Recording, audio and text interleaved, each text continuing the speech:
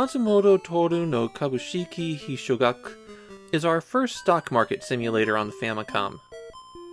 I'm not going to say it becomes a big genre on the system, but if I'm counting correctly, there are six of them. These games post a bigger challenge for me than normal. The information and interfaces tends to be pretty technical. It's not necessarily something that I could power through with a dictionary. You also kind of need knowledge of how markets, and in particular the Japanese stock market, work. Or rather, worked in 1988. Electronic trading has kind of shifted things there. Touru Matsumoto was the author of investment guides, and that's literally everything I could find on him.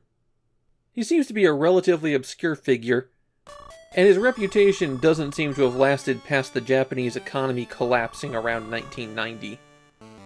I mean, when your game is called Surefire Stock Lesson, that should tell you the kind of attitude you're dealing with. At 9,800 yen, Matsumoto Touru no Kabushiki Hisshougaku is the most expensive Famicom game we've seen so far. It did come with one of Matsumoto's books, but we're going to see prices like this on games targeted toward an adult audience. The goal in this game is to take 1 million yen and turn it into 100 million yen in the space of two years. For those of you who don't want to do the math, that's a 900% yearly return on investment.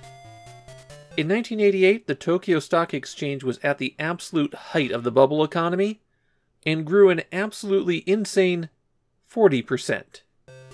So this game is slightly optimistic. The game doesn't work on a proper calendar.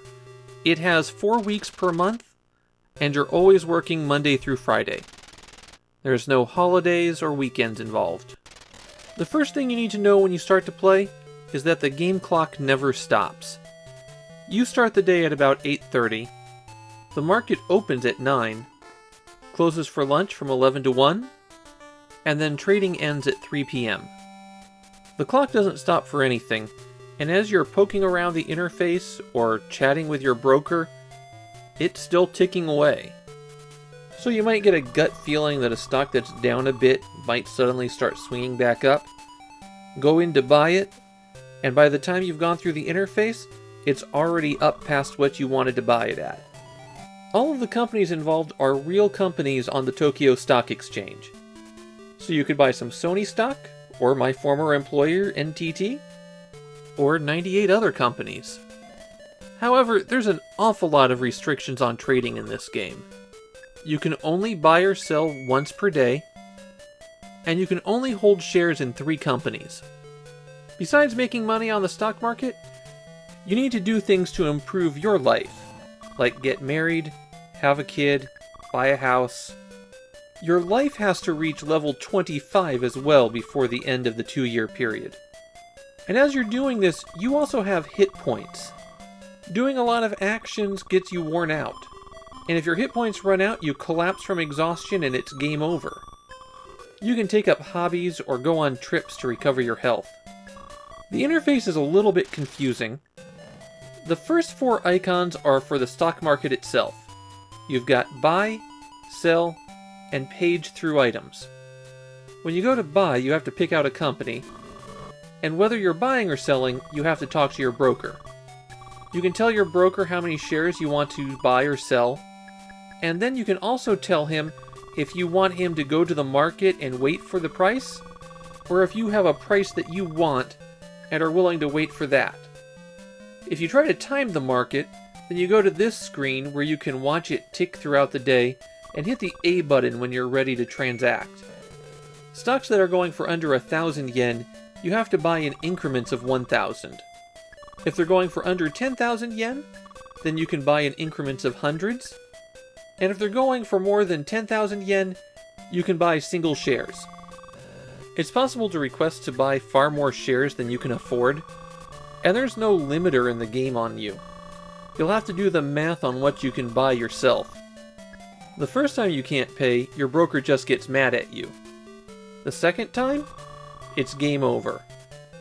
The next four buttons on the main interface are for information. Twice a day you can request historical stock data. It costs 500 yen for each report, and it only accumulates from the start of the game on. The printer is where you get your stock tips. You can buy a newspaper, or talk to some people who might have a hot tip for you. The briefcase is where you bring up your own status. It's where you can see your cash and holdings. The exclamation point are for events.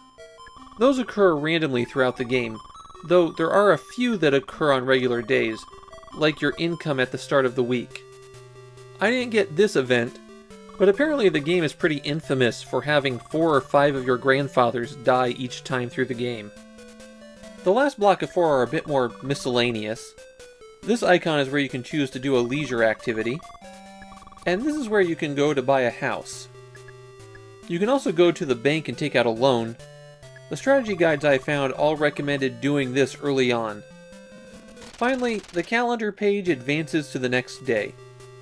One thing that bothered me in this game is that you can only really see the opening and closing prices of the stocks when the market is open. So it's actually pretty difficult to review how a long-term investment is doing. The game has a battery save, and it saves after every day and every event. If you try to avoid bad events by hitting reset or turning the power off, the game docks you half your cash. If you do manage to win, then you can enter a code on the title screen to get stock advice from Touru Matsumoto himself.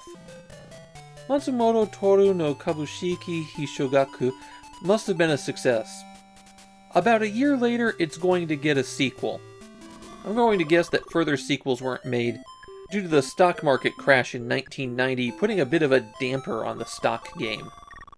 I feel like this is a game that's dense with information and has the look of realistic stock trading, though the heavy trading restrictions make it obvious that it's not. I just don't see myself ever wanting to go back to play this one.